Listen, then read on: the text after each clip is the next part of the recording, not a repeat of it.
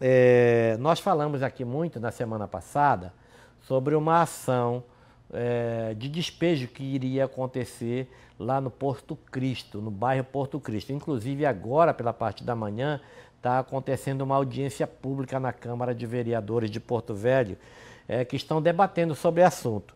Mas nós temos uma matéria aqui com a Angelita Lima. Traz a matéria para nós. O ministro do Supremo Tribunal Federal, Luiz Roberto Barroso, decidiu que ações de despejo e desocupações estão suspensas por pelo menos seis meses.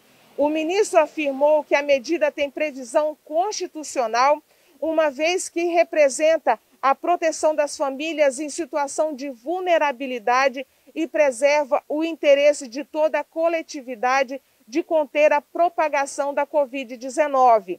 Com isso, fica suspensa a liminar de desocupação dos moradores do bairro Porto Cristo, é um alento para que eles possam, assim, achar uma alternativa para que eles possam, então, ter um prazo maior, já que esse prazo terminaria na próxima quarta-feira.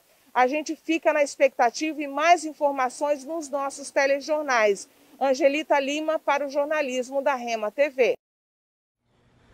Tá aí, olha, essa, essa informação na última sexta-feira, quando saiu, nós demos ela aqui com exclusividade, tá? Então agora a Angelita trouxe a matéria para vocês, mas nós trouxemos com exclusividade. Isso dá um alívio, tá?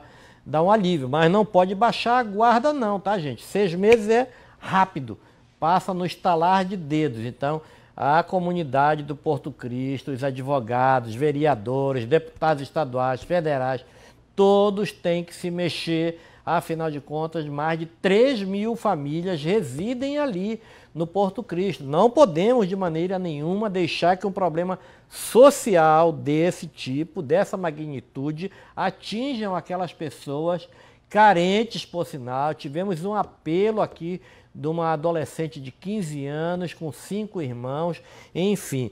É, ainda bem que veio essa decisão aí do ministro Luiz Roberto Barroso, então precisamos que continue debatendo sim. Vamos trazer informações ainda sobre o que está acontecendo na Câmara de Vereadores de Porto Velho, vamos nos inteirar do que está acontecendo lá para saber é, o que vai ser feito com essas pessoas aí. Algo tem que ser feito, tá, gente?